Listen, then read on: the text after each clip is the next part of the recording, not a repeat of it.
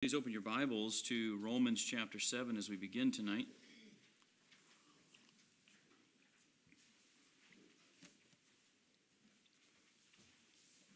We continue to look at the nature of our warfare with the enemy, our archenemy, Satan himself. And last time we considered the first of two resources that he uses against us, and it was the world. And tonight we consider the second, which is our own flesh. This morning we had much of what we were to learn couched in Galatians 3, and so we read Galatians 3 1 to 24. Uh, tonight, what much of what we're going to look at is right in Romans 7. So I want to read, beginning in verse 7, on to the end of the chapter. So, Romans chapter 7, let's give our attention. What then shall we say? That the law is sin? By no means. Yet if it had not been for the law, I would not have known sin. For I would not have known what it is to covet if the law had not said, You shall not covet. But sin, seizing an opportunity through the commandment, produced in me all kinds of covetousness. For apart from the law, sin lies dead. I was once alive apart from the law, but when the commandment came, sin came alive, and I died. The very commandment that promised life proved to be death to me. For sin, seizing an opportunity through the commandment, deceived me and through it killed me. So the law is holy, and the commandment is holy and righteous and good. Did that which is good then bring death to me? By no means.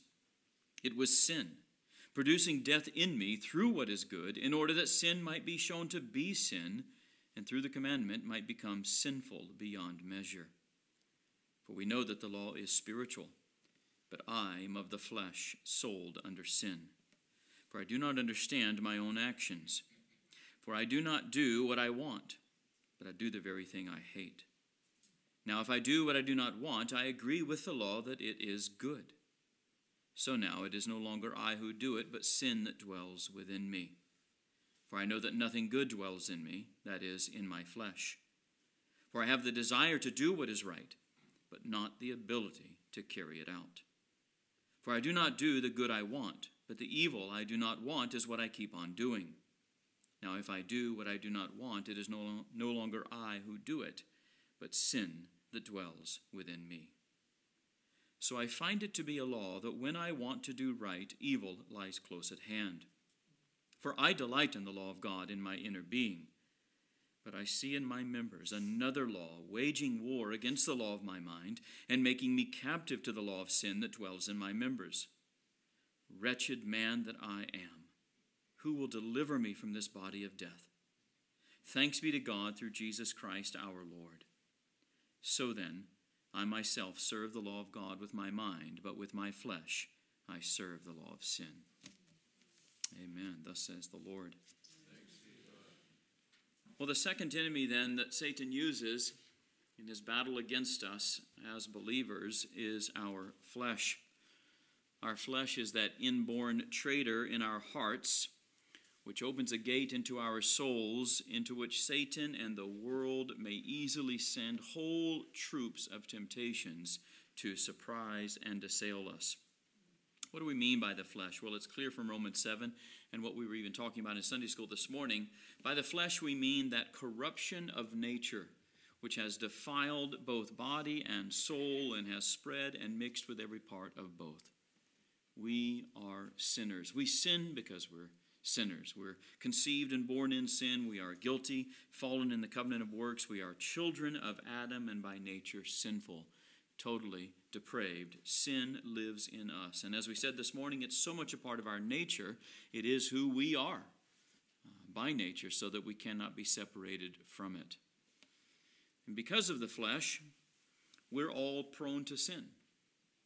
No matter how holy we are, no matter how far we have come in the Christian life, because of the nature of our flesh, because we dwell with our own flesh, we are all prone to sin. None of us is above any sin or beyond any temptation. And we are ready in our flesh to entertain every single temptation that promises to satisfy any of our lusts, whatever it may be. So, this secret traitor then conspires with Satan and the world. These three together are our three headed enemy.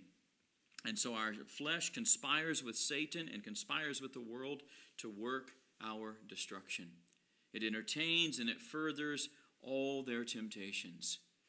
The flesh is ready. It is as fuel ready to be lit. It is as a match ready to be struck. It is as wood ready to be inflamed. It is at the ready, at the first hint, whiff of any temptation, it is in full support. We need to understand this because what this means, as we said this morning, is that our sin nature, our flesh, as Paul calls it here, that law of sin that dwells in my members, it can never be tamed. You can't tame the flesh. You can't tame sin. You can't keep sin like a pet on a leash or in a cage and let it out when you want it. It doesn't work that way. It may let you think that that's what you're doing, that you're in charge, but you are the one in chains. You are the one in the cage. You are the one enslaved. You are the pet, if you will, that sin is using and abusing. But it would lead us to believe, Satan would lead us to believe that we can do whatever we want, and that if we wanted to stop doing something that we learn is wrong, well, we can stop at any moment.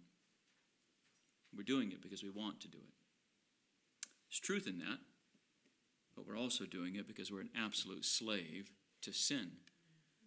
We are as a horse rushing into battle, we are rushing after the lust and the passions, Peter says, you remember, the passions that wage war against our soul. And that's the nature of the flesh. Peter hit it head on.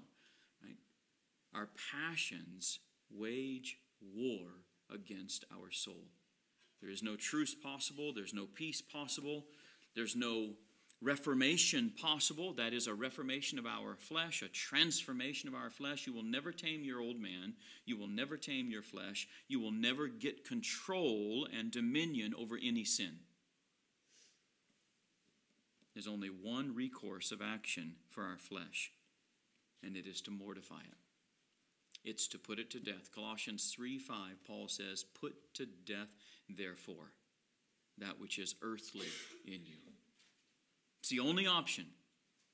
Remember John Owen's famous statement be killing sin, or it will be killing you. That is its full and only and sole intent is to kill you, destroy you, ruin you. So, unless you are set against it with such a passion as to utterly ruin it, destroy and mortify it, it will always get the better of you. Because if we're ever thinking of our own sin and our own flesh and our own, our own inclinations, that we will just moderate them, that we will control them, that we will, we will decrease them, harness them. We're fools because the flesh is out to kill you, it's out to destroy you and ruin you. So we have to have the same intent. And in fact, the Spirit has the same intent. Right? Galatians 5:17 says the flesh lusts or strives against the spirit and the spirit strives against the flesh. The spirit has one intent when it comes to the old man to strive against it, to destroy, to mortify, to ruin the flesh. And that, in fact, is just the flesh's intent against the spirit. And these two wage war within us, and they're at war. So we need to decide, if we can put it this way, we need to decide whose side we're on. As Christians, we need to decide whose side we're on and where we're fighting. Whether we're going to stand with the Spirit, we're going to stand with God, we're going to stand on the side of righteousness, or whether we're going to succumb to the flesh and be taken back, be taken captive to the law of sin, or by the law of sin uh, that dwells in our members. And so the flesh causes us all to be prone to sin. We're ready for temptation. It's a secret traitor that works our destruction. It fights and lusts against the desires and motions of the Spirit. Everything the Spirit of God would intend to do in you, the flesh will oppose it. Paul says it here whenever I would do good. And Paul is speaking, it's clear that he's speaking of his desires being in alignment with the Spirit's desires. Paul is clear I long for what the Spirit longs for. In my inner man, I delight after the Lord, I delight after the law. So Paul is completely in step with the Spirit and the flesh will oppose that at every turn. The flesh rebels against the law of our minds, verse 25, which of course is Paul's word there for our renewed image. The flesh leads us captive to the law of sin, Romans 7:23. It hinders us from doing good, verse 18. It makes us commit the evil we hate, Romans 7 15. The flesh is bent on it. And we've all seen this in our own experience. Even if it's not something that is our particular thing, if you will, the flesh wants to do it just because it's forbidden, just because it's taboo. You know that motion, you know that tug and pull in your heart. It's not something you ever thought of, but the opportunity is there and it's not supposed to be done. And so the flesh sort of sort of pokes its head up for a moment. There's something that ought not to be done that could be done. And the flesh hankers for it just because it's taboo, just because, as Romans 7 points out, just because the law says no, the flesh is ready to say yes. And it tugs and it pulls, it tempts, it sways, and it will use the world around us, and it will be in cohort and conspire with the world around us and with all of Satan's suggestions. When Satan drops a suggestion into our minds, the flesh is ready to entertain it and to fan it into flame. When the world presents a temptation of any sort, from whatever's on the television to a billboard to a conversation to the locker room to anything, whatever the world provides to us, the flesh is ready. It doesn't need encouragement, it doesn't need to be awakened. Hey, pay attention, here's an opportunity. The flesh is always paying attention, always looking for opportunity because it's bent on ruin the ruin and destruction of you. Scripture calls this enemy by many names. And you may think of the passages in which these names are found as I read them, but it's called the old man, the old Adam, the earthly, carnal, and natural man, the sin which is inherent and indwells us, the adjoining evil, John Downham's name, the adjoining evil, which is really, I think, what Paul has here in verse 21, that evil that lies close at hand. It is adjoined with you. You can't shake it off. So it is that adjoining evil or the evil that lies close at hand. It is the law in our members. That's where it lives, dwells, has its habitation. And as Peter says, it is the lust of the flesh or the passions of the flesh which wage war against our soul. That's the person that lives in you, that lives in us all. In fact, it's you, it's me, it's us. Right? We found the enemy, and it's us. Right? All these names signify the corruption of the nature which we received from Adam. And because of this nature that we have received, because this is the, mat- the, the matter in which we are born as covenant breakers in Adam, we're opposed to all good. We're prone to all evil. Think of Paul's many other Paul's other letters and where he speaks of this in so many other places, like in the Ephesians chapter 2. We're prone to all evil. We're unable to entertain any good suggestions of the Spirit of God. As we said this morning in Sunday school, unless the Spirit invades and intrudes into our very hearts to give us that new heart and to remove the heart of stone and give a heart of flesh, unless we are at that moment regenerated by the power of the Spirit of God, the best of sermons is ignored. The greatest of preachers is ignored.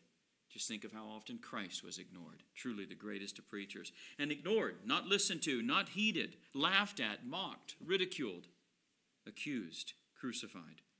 We're unable to entertain any good suggestions of the Spirit of God. And we are as ready to receive and embrace all the suggestions and all the temptations of the world and the devil as the fuel is ready to receive the fire. Isn't that remarkable? We are dead and asleep to good motions of the Spirit. We are dead and asleep to great preaching and the call of the gospel for rescue, for salvation, for inheritance, for heaven. We are dead and asleep and deaf and blind to the best of calls. But the minute a temptation whispers within hearing, all of a sudden our ears are wide open all of a sudden, we're awake, alert, attentive, responsive. Where did that come from? Who said that? And we're running after it in a moment. It's because it accords the work of the world and the work of Satan, the work of Satan as using the world as an instrument, it accords with what's in you. These things would not be tempting if there wasn't an appropriate answer in each of us. Despite the cartoons, it's like dropping a boot on the fish line down to the fish. What fish is going to go after a boot? It's not appetizing. It's not appealing. There's nothing there that the fish wants. There's no response in the fish to that bait. In fact, it's not bait, it's useless. But Satan knows exactly what is bait. He knows exactly what works. He's been doing this for thousands of years, and we're all the same.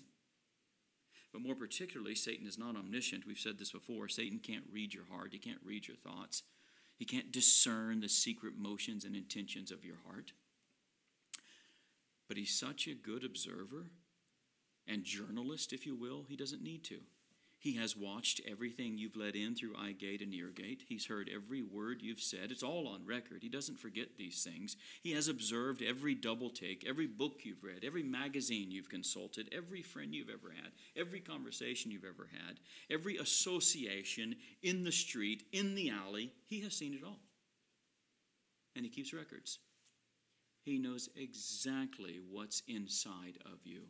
He watched you let it in, take it in, absorb it, listen to it, watch it, hear it. He knows what's in your heart. That's why he is so good. That's why it can become so tricky. Think, how does Satan know what I'm thinking? Because he's watched you look that direction before. And he's watched what you've done after you looked in that direction and what it led to. So he knows exactly how to beckon, and this is why baits and temptations work so well in the, in the devil's hands and coming from the world. This is why they work so well, because he knows the flesh that's in you. It's the same as all of us. But he also knows what you've done with that flesh and what you've led in, what you've cultivated, what you've allowed. And so Satan can bring images to your mind that you haven't thought of in decades. He can bring sins to your mind that you have long repented of, praise God, and you have not thought of that evening for a long, long, long, long time. And all of a sudden, right now, in the middle of church, you're thinking of it, and you can see it. And it's so piercing and so vivid, and it grips you. How often is that the devil? Stirring up and provoking, knowing exactly what's inside your heart. So he can't read it, but he's watched everything go into it. So he knows what's there, and he takes advantage of that. And that's how we are tempted. Turn to James 1. This is how Satan plays his game. This is how he exercises himself, in fact, in what is not a game, but his warfare. James chapter 1, verse 13. Let no one say when he is tempted, I am being tempted by God. For God cannot be tempted with evil, and he himself tempts no one. How then does it come about? Verse 14. But each person is tempted when he is lured and enticed by his own desire. A temptation would not be a temptation if you didn't have the desire in your flesh for that thing that's being offered to you. Then, desire, when it has conceived, gives birth to sin, and sin, when it is fully grown, brings forth death its only and inevitable wage. John Downham says, As Satan is the father, so the flesh is the mother of sin, which receives Satan's temptations, as it were, into a fruitful womb, using the image here in James 1, conceives, nourishes, and brings forth sin, which is no sooner born, but like a deadly serpent brings forth death to the body and soul, unless the poison is overcome and taken away by the precious blood of Christ. That is what spares us from the death we deserve forgiveness, pardon. And how many times has God, by His grace, for His own glorious purposes, intervened in this course? Sin conceived, bringing forth desire, conceiving, bringing forth sin, sin fully grown, bringing forth death. How many times in all of our walks has God graciously intervened. So we did not receive the fruit of our wages.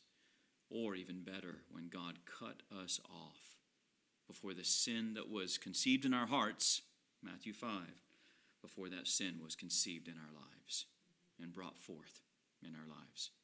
Praise God for his mercy his intervention. Why would God do that? Not because we deserve to be spared, not because of the sin we desire and have already hatched in our hearts should not be brought forth in our lives and ruin us all, but simply because God is gracious and he has a better purpose for us.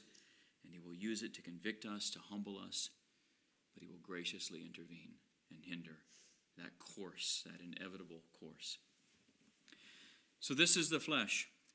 Two things about the flesh, and then we'll close out tonight with how do we weaken and overcome it. First of all, we see the flesh. The flesh is treacherous, and then secondly, that it's dangerous. The flesh is treacherous. Why? Because while it comes off as a dear friend saying to us, spare yourself, don't be so hard on yourself, relax, right? All the ways in which the flesh speaks to us, you deserve this, you've worked hard for this, just once will be okay. You can control this, you won't go overboard, you won't get addicted, you won't go too far. All the things that the flesh tells us to get us just to take the first step. And it comes off as if it is our servant Yet it's in league with Satan, and it helps Satan in our overthrow. Turn to Psalm 41 9. This is how the flesh works.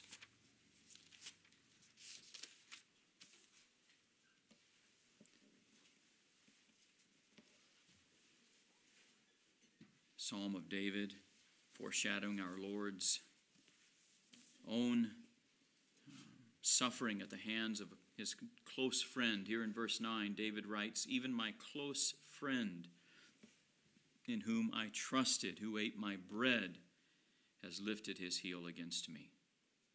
And we know the context for that. So here we see this is how the flesh works. Our flesh pretends to be our close friend. It will eat bread with us, it will sup with us, it will support and encourage us, protect us, look out for us, all with an agenda. Like we learned in Romans 7, the flesh always has an agenda your ruin and your destruction, your eternal ruin and destruction, your death. And for us as believers, who by God's grace can never be eternally lost, He will do. The flesh's intention is to keep you from growing in grace, from fellowshipping with God, from enjoying the benefits and the comforts of being a believer. Remember Thomas Brooks if Satan can't keep you out of heaven, then he'll do everything he can to keep heaven out of you. And that's what the flesh is bent on. The first intent of the flesh is to keep you from ever he listening to that preacher, ever going to that church, ever repenting. Once by God's grace, that is prevented, and we are brought to salvation, and the flesh is prevented, then the flesh is bent on your utter uh, ruin by way of breaking your fellowship and your communion with God so that you don't enjoy, so that you are miserable as a Christian. The flesh then is a Judas which daily follows us and eats and drinks and sleeps with us, only to betray us into the hands of the enemy who seeks our life. And it does this when it seems lovingly and kindly to kiss us. You remember what Jesus said to Judas? Do you befriend, do you, be, do you betray me with a kiss? That's what the flesh does. It betrays us with a kiss. So it's treacherous. And no doubt, of course, it's treacherous, right? From whence did it come? Our league with the devil himself. And we've already looked at, at the devil's malice, right? The devil is malicious. He's powerful, intent on our ruin, but he's, and he's malicious and has the power to do it. And so the flesh is the same way. The flesh's only hindrance is the spirit. The flesh's only enemy, the only one who can stand up against our flesh, is the Spirit of God which is what John says in 1 John 5 Greater is he that is in you than he that is in the world. There is victory. There is a place to overcome. There is power to, to overcome. In fact, it takes us back to Ephesians 6. Being strong in the Lord and in the power of his might, we can be victorious. But that's the only way to be victorious, which is where, of course, this lesson will leave us. So the flesh is treacherous, and then, of course, it's dangerous. And what's so dangerous about it is it's ourselves. That's what's so dangerous. I've taken some of John Downham's language here that's so helpful. The flesh is very dangerous and hard to overcome because it's our own self, and it's the greatest part of ourself. We can't forsake it unless we forsake ourselves. We can't fight against it, Downham says, unless we raise intestine and civil war in our own bowels. Where is the flesh? Paul says, In me, at my elbow, close at hand. Me. We can't vanquish it unless we subdue ourselves. And if we seek to run away from it, we might as easily flee our own shadows because we carry it in our own bosoms. See how hard then this enemy is to overcome. It can be overcome by God's grace. John says, by faith we overcome the world, and certainly we can then overcome our flesh. But how hard is it to overcome? And see how dangerous and irksome this fight is, which in which ourselves must be enemy to ourselves, Downham says, so that we can't obtain the victory unless we're overcome. We can't be sure of life unless we mortify and kill our greatest part. And we can't sustain ourselves without nourishing our enemy, and we can't famish our enemy without starving ourselves. Do you feel and see now why Paul speaks as he does with his language? And why Christ even says, Let a man deny himself? Why the scriptures speak of dying to yourself? Why Paul uses the language of mortify that which is earthly in you? And why Jesus says, cut off the hand, pluck out the eye, cut off the foot, cast it from you? Where is this flesh? It's me. It's you. It's a part of us, it's in us. This is our case. If we were to describe it or think of it this way, we're besieged with foreign forces, the world and the devil and we nourish within our own walls secret traitors, which is our own flesh with all of its lusts and passions. So we are besieged with two great enemies, and dwelling in within our own fortress is a traitor in league with those enemies. And so our flesh is continually ready to open the gates of our souls through all our senses, eye gate and ear gate, and let in whole troops of temptations until we're overwhelmed who will deliver me from this body of death? Sin in me. And you will remember Parley the Porter by Hannah More. And if that's news for you, you've got to look it up and read it. You can find a PDF online. Highly, highly recommend Parley the Porter. Parley lives in the heart of every man, and he's the porter. He guards the door, he lets things come and go and he is deceived by the enemy without, who appears to be a great friend, and he lets the enemy in. And that's how the flesh works. That's the sinfulness of our own hearts. This is why the Bible says that the heart is deceitful above all things and desperately wicked. Because within the heart dwells Parley the porter. That's where he lives. He's a part of our own selves. We can't out Parley. He lives and dwells as a part of our own selves, and he's a traitor. There's only one course of action for Parley. We have to die. Only then does Parley the porter die. That's Paul's conclusion. Thanks be to God through Jesus Christ our Lord, there's victory. But as Owen finally said, you remember, the only, the only hope and help for this body of death is the death of this body. When we die, Parley dies because the flesh dies, but not before. Much more could be said about this enemy, but I want to come straight to application tonight. How do we weaken the flesh? A few directions here. First of all, we must be resolved by the grace of God in Christ to stand our ground fully guarded and armed in Christ with his strength and armor. This is why, turn to Ephesians 6, this is why it is so helpful to renew in your own heart and mind to renew your membership vows. Every single time you see another person become a member and make a profession of faith with those five membership vows,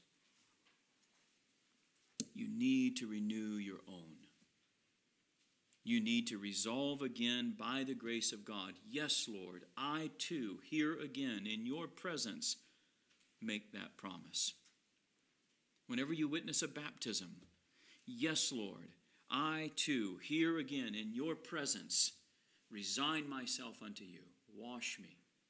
I am yours. And I have taken on the name of God. The name of God, in fact, has been put upon us in our baptism.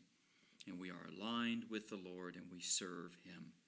Renew your membership vows, renew your baptismal vows. Think often of them because this is what's needed. These, this resolution, this, this resolve in our very souls that by the grace of God in Christ we will be strong in the Lord and the power of his might. So 6:10 of Galatians. Finally, says Paul, be strong in the Lord and in the strength of his might. Put on the whole armor of God that you may be, be able to stand against the schemes of the devil, the wiles of the devil. For we do not wrestle against flesh and blood, but against the rulers, against the authorities, against the cosmic powers over this present darkness, against the spiritual forces of evil in the heavenly places. What a, what a daunting enemy. Who is a match for such a force of evil that stands against us? Well, we're not a match. But Paul says if we are strong in the Lord and the power of his might, Paul says if we put on the whole armor of God, we are a match in that sense. Therefore, he says in verse 13, take up the whole armor of God, despite all that enemy, that you may be able to withstand in the evil day and having done all to stand firm. But this has to be your resolve, beloved. You have to be absolutely convinced. And this is why this these and, and I say renew your membership vows because those resolutions and those promises that adherence and that surrender to the Lord Jesus and our membership vows is not something we do at conversion only and not something we do at church membership only. It is a daily covenanting, a daily renewal. And what a better thing uh, is the Lord's Supper? The Lord's Supper is for covenant renewal. Right? That's why we have the institution before we take the supper and the, the reminder that here all our sins are to be laid. Here, is a surrender uh, once again unto the Lord and a confidence in His work and a resolution to be His. Every Lord's Supper Sunday is a perfect opportunity for your own covenant renewal. Don't forget that. That's how our resolution is strengthened. Because if we don't make some sort of revisit to our resolution in our own hearts and minds, how easily will you even forget what you promised? We won't even think of our baptismal vows. We won't even think of our membership vows. And when someone else becomes a member, we'll just be thankful and say, That's wonderful. Look at that, a new member, without even ever stopping to consider. I said those words. I made those promises. I did that, and I need to do it again. Now lay that to your conscience because that's the way to strengthen yourself. James 4 7 and 8, look at what he says. Submit yourselves, therefore, to God. There's that resolution. Submit yourselves, therefore, to God. Resist the devil, and he will flee from you. Draw near to God, and he will draw near to you. Cleanse your hands, you sinners, and, be, and purify your hearts, you double minded. Renew your resolve, renew your resolution, your commitment, your surrender to God. It's the only way to weaken the flesh. Otherwise, we will become subject to it, we will become deceived by it. Turn to 1 Corinthians 10.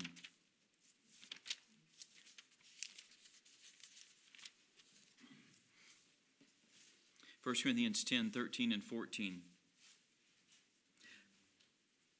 I'll begin in verse 12, actually. Paul says, Therefore, let anyone who thinks he stands take heed lest he fall. No temptation is overtaking you that is not common to man. God is faithful, and he will not let you be tempted beyond your ability, but with the temptation, he will also provide the way of escape that you may be able to endure it.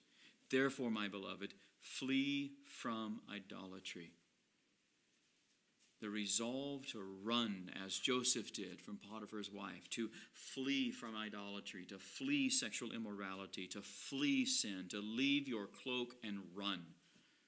That's not just going to happen when temptation comes. You're not going to be just, okay, have the strength you need unless it, you have cultivated it, renewed your covenant, strengthened your resolution, and stayed close to God. If you don't do that, then when t- temptation comes, you're a sitting duck because you've already been weakened by the fact that you've not ever that you've failed and neglected to think about your surrender again to God and your resolutions to follow the Lord and to die to self, take up your cross and follow him. So be resolved by the grace of God to stand your ground with the Lord's armor. Secondly, of course, then turn to 2 Corinthians 10. Secondly, we need to take every thought captive. Take every thought captive to the obedience of Christ. We need to condemn every thought, desire, and stronghold that stands opposed to righteousness. Whatever it is, do like Joseph, condemn it, call it the sin that it is, call it the wickedness that it is, and run. 2 Corinthians 10, verses 3 to 6. Paul says, Though we walk in the flesh, we are not waging war according to the flesh. For the weapons of our warfare are not of the flesh, but have divine power to destroy strongholds. And it's a good thing those weapons have that power because that's the nature of the enemy. God has equipped us with weapons suitable, proportional, and appropriate to the enemy we fight, which Paul talked about in Ephesians 6, what that enemy is. We destroy strongholds and every lofty opinion raised against the knowledge of God, and we take every thought captive to obey Christ, being ready to punish every disobedience when your obedience is complete ready to punish every disobedience of your own, ready to punish every temptation to disobedience in your heart, every seduction of the world, every suggestion of Satan. Punish it, call it what it is. Take it captive that we might obey Christ. And here's what I think is helpful. We read in Romans 7 that sin takes occasion by the law. That when the law says, Thou shalt not, sin says, Yes, I will. That's what our flesh says. But here's the thing sin is said to take occasion by the law to rear its ugly head. Well, we also need to be on the alert, as sin is. We need to be on the, on the alert and take occasion by sin. When sin rears its ugly head, we need to see that as an occasion to raise up all our weapons of warfare against it. In other words, why not fight back? That's what Ephesians 6 is saying. Right? Why wouldn't you fight back? Sin has reared its ugly head. A temptation has been dropped before you. Sin says, I want that, let's go get it. That's an occasion for you to put on the armor of God. It's the occasion for you to exercise the weapons of your warfare. It's the occasion for you to take that thought captive. It's the occasion to run. It's the occasion to call a friend. Whatever it is, it's an occasion to respond in a godly manner with an eye to overcoming and mortifying that sin that has just reared its ugly head. Because what has it done? It has revealed itself. You know how sin, how, how the enemy lurks in the shadows and you don't know where it is or from which direction it comes. But the minute you hear it, the minute you see the white of its eyes, guess what? It has given itself away, hasn't it? And when sin rears its head in our own hearts and it seeks to lunge after a temptation that has been presented or entertain a thought that has been dropped into our minds, what has it done? But it has revealed its presence, it's revealed its location, it's revealed its intent. It has lost and given up its cover. We then have an opportunity to fight back we have an opportunity, Ephesians 6, to stand our ground, to wield the sword of the Spirit, to be protected with the helmet of salvation, the breastplate of righteousness, the belt of truth. The occasion is there. It's no wonder whether these weapons are even useful to be, or excuse me, this armor is even useful that we carry around all the time. When are we ever going to see any war? When are we ever going to see the, see the battle? Satan has just told you and your flesh has just told you, sin has just alerted you that it's ready to fight.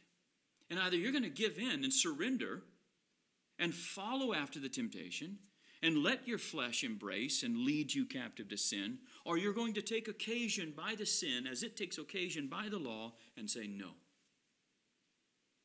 By the grace of God, I hereby resolve no. I'm done with that. And run and flee and mortify. That's the only way you're going to overcome sin, and that's the only way you're actually going to get to victory, and it's the only way you're going to actually weaken your flesh. Because if sin reveals itself, rears its ugly head, and lets you know its intent, and you don't fight back with the appropriate measures and means of grace, every time you give in to sin, you are being weakened. You're weakening the spirit, you're weakening your new man. You're giving up ground and you're fueling and feeding your own flesh. No wonder if next time it's easier, and the next time easier still, and the next time easier still. And then the next time, you don't even wait for the suggestion or the opportunity. You create the opportunity because we're so taken up by it and blinded and seared and numbed. We all know that by experience and how that works. So we need to resolve to stand our ground against the flesh. Secondly, we need to take every thought of the flesh captive in order that we might obey Christ. Thirdly, then, we need to lay hands on our lusts, our sinful desires. We need to bring them to the place of judgment, which should be the law, as we heard in Sunday school this morning. By the law comes knowledge of sin. The law calls sin to be sin and shows it to be exceedingly sinful. And so we bring our lusts out, we bring our sinful desires out, we bring it to the law, and we show it to be what it is. And we judge it, we call it sin, and we condemn that sin to death. In other, in other words, resolve by the grace of God that it be killed and mortified. And so Galatians 3:10 here Paul says, Cursed is everyone who does not obey or not walk in all the works of the law to do them. All who rely on the works of the law are under a curse, for it is written, Cursed be everyone who does not abide by all things written in the book of the law and do them. In other words, what comes to lawbreakers? The curse. We need to call sin what it is. We need to see it for what it's intending to work, and that is our death and condemnation. Again, we come to Genesis 39 9. Joseph, how can I do this great wickedness against God? He called the temptation what it was it was wickedness. We're not told beyond Joseph's words whether there was even a moment's hesitation or whether there was a moment of inclination. In fact, Scripture presents Joseph immediately aware of her, aware of this temptation because of the, the, the, pleas and beggings of, the, of Potiphar's wife before that time. Joseph had already strengthened himself. He had already strengthened his resolve. He had already taken every thought captive. Joseph was ready. And the minute the temptation, the opportunity presented itself, Joseph ran. And so Galatians, excuse me, Colossians 3, again, Paul's language. Very strong. Colossians 3, verse 5. 5 to 10, listen to what Paul says. Put to death, therefore, what is earthly in you sexual immorality, impurity, passion, evil desire, and covetousness, which is idolatry. On account of these, the wrath of God is coming. In these you too once walked when you were living in them, but now you must put them all away. So, putting them to death, putting them all away, same reality. Anger, wrath, malice, slander, and obscene talk from your mouth. Do not lie to one another, seeing that you have put off the old self with its practices and have put on the new self, which is being renewed in knowledge after the image of its creator. So we need to lay our hands on our lust, our sinful desires and inclinations, and bring them out to the place of judgment and condemn them to death. We need to do as Michael did uh, to, to Satan in Jude 9 the Lord rebuke you. That's how we need to speak to our own sinful desires. That's as Joseph spake to it. This is wicked. I cannot, will not do this against God. And he renewed that resolve. What if the enemy is too great? What if we find that our lust, our, our sinful desires are too strong? What do we do then? If we cannot yet bring them out and mortify them, then we take the next best step and we starve them. We weaken them. This is what you do to an enemy. Until an enemy is able to be overcome, you besiege it and you starve it. This is what a siege does to a fortress it lays siege and just waits, letting no resources go in until the people are starved. We see that in the scriptures. And this is what we do. We do all we can to weaken the flesh by depriving it of food, provision, fuel, weapons, armor, ammunition, and all other means by which it is finding strength against us. Turn to Romans 6. This is exactly what Paul is talking about. Romans 6, look at verse 12. Let not sin therefore reign in your mortal body to make you obey its passions. Well, how am I not to let sin reign? Its passions are strong. How am I not to let it reign anymore? Do not, verse 13, present your members as sin to uh, to sin as instruments for righteous, unrighteousness. What does that do? It strengthens the flesh. But rather present yourselves to God as those who have been brought from death to life, and your members to God as instruments for righteousness. What does that do? Weakens the flesh. For sin will have no dominion over you, since you are not under law but under grace. Praise God for the testimony and the promise of verse 14. And that reality is the case because of our being born again and united to Christ. Sin does not have dominion anymore, and it will not have dominion. But Paul even said in Romans 7 that if we're not careful, it can carry us captive. And we all know what that feels and looks like taken captive by our own sinful hearts and finding ourselves running in the path of that which we hated and do not want to do, and yet we're doing it. How did I get here? Somewhere along the way, we let sin get a foothold. That takes just self examination, to figure out what happened there. But the reality is, we weaken the flesh by depriving it of all of its food and nourishment, and then we proceed, when it's weak, with the former course of justice against it. This is evil. God, deliver me. Lord, give me strength against this. I can't overcome this. I'm struggling with this. Lord, give me victory over this bosom sin. And so we weaken until it's weak enough that we can find victory by God's grace. And so, the kind of questions here that we need to ask ourselves, that you need to ask yourself, and I need to ask myself what is feeding your lust? What is feeding your bosom sin? Because there's no, we're never going to be able to starve it and weaken it unless we stop to consider what it's eating, what it's fueling on, right? What in your life, what in your habits, what in your company is your sinful desire feeding on?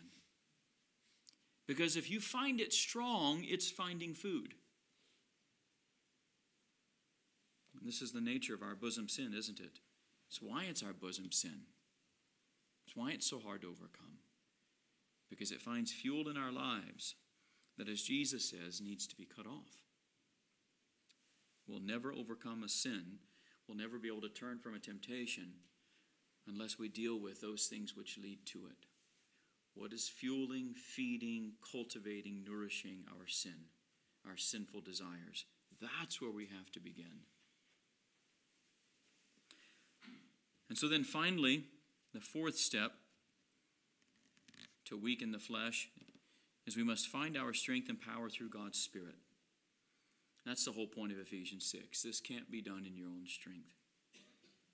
It's only by the strength of God and His Spirit in us that we will find ourselves able, by grace, through faith in Christ, to mortify, to kill, and to abolish the flesh with its lusts. Scripture tells us to do it. 1 Peter 2 11 and 12, here in Romans 6, Colossians 3, and Ephesians 5, or Ephesians 4 rather, Scripture tells us to do it, which means by grace it can be done. We will never do it perfectly. We will never be blameless. We will never tame the flesh, but we can get victory. We can gain ground. We can be the offense on the offensive and gain yardage. That's what we can do more and more and more and more by the grace of God, as our catechism says. And if we find our spirit weak and we find the flesh strong, then we must pray to God to help us disable the flesh by fasting and prayer. Remember what Jesus says some things come out only by fasting and prayer. What a wonderful way to weaken the flesh. In that sense, we're not starving it so much as we are fueling the new man. That's what fasting and prayer does it fuels the new man. And by depriving the flesh of the food which nourishes it, believing that if we ask God, He will help us. Ask and you shall receive. Again, submit to God, resist the devil, and he will flee.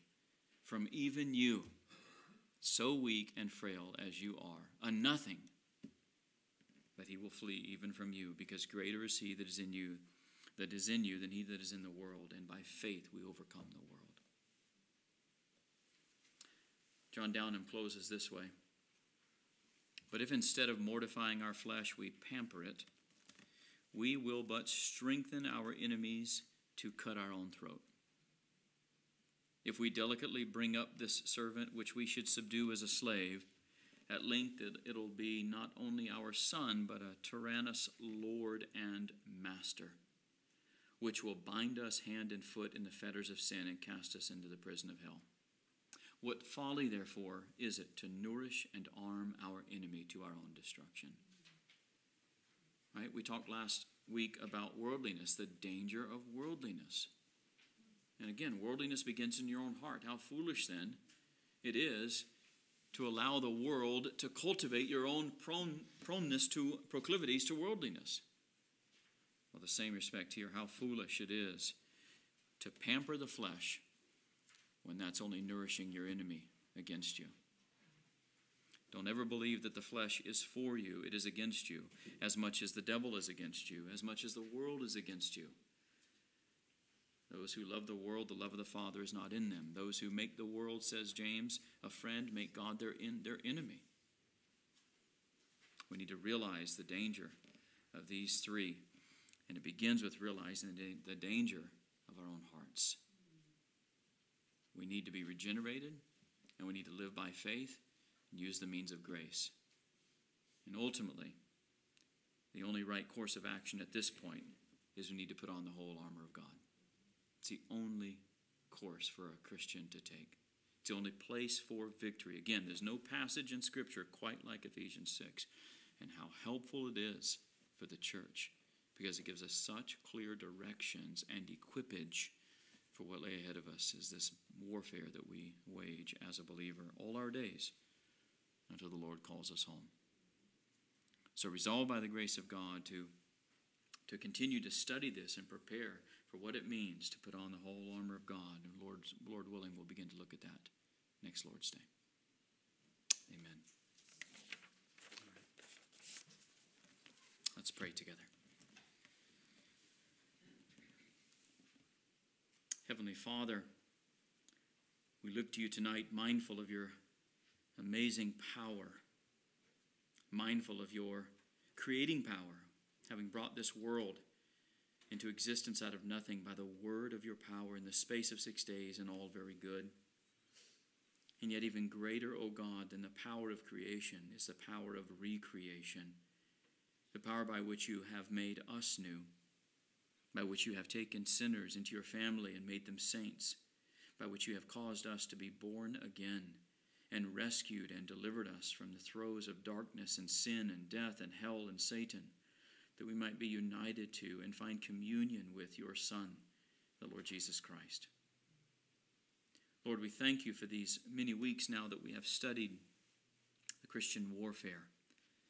We have learned much along the way already, and yet, Lord, we are standing, Lord, at, a, at an important and critical point where we have been convinced of the great need to put on the whole armor of God. We pray, O oh Father, that you would bless us as we continue to learn what this means, what this looks like practically in the Christian life. Give us wisdom, give us understanding, give us the wherewithal, O oh Lord, to walk in this way and to stand where we ought. And do indeed, O Lord, equip us and enable us to serve you well. Please forgive us now of our many sins. Forgive us, O God, where we have bowed to our own flesh, where we have given heed to our flesh, where we have listened to our hearts and been led astray. Forgive us, Father, for how prone we are to worldliness and to evil and to sin. Forgive us for not standing our ground as we ought. Forgive us for not renewing our membership vows, our resolutions, our surrender, our baptismal vows. And cause us, O oh God, to see the importance of regularly covenanting with you, renewing what it means to deny ourselves, take up the cross, and follow Christ. Fill us, we pray, with your Spirit. Take us into the week ahead now. Equip us and enable us for all that is yet ahead of us, O Lord. May we serve you well in our workplaces, in our homes, in our marriages, in our families. May all that we do bring you glory. And may we be a light in a dark world. We pray this in Jesus' name. Amen.